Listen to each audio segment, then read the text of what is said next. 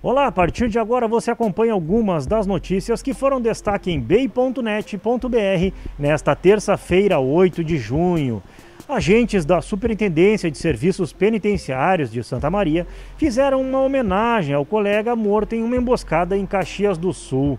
Bombeiros e policiais da Brigada Militar também participaram na homenagem na rua Professor Teixeira, em frente à Delegacia Regional da SUSEP. Os agentes fizeram um sirenaço. Dois jovens foram presos após uma perseguição em Cruz Alta. A dupla caiu de uma motocicleta e foi detida por policiais da Brigada Militar. Com eles, os policiais encontraram um revólver calibre 38. E em Santa Maria, um jovem ficou ferido após um acidente de trânsito envolvendo um cavalo e a motocicleta que o jovem dirigia, na BR-287, próximo ao quartel dos bombeiros. O cavalo morreu pouco após o acidente. O jovem foi socorrido pelos bombeiros e encaminhado pelo Serviço de Atendimento Móvel de Urgência ao Hospital Universitário, onde se recupera em estado estável.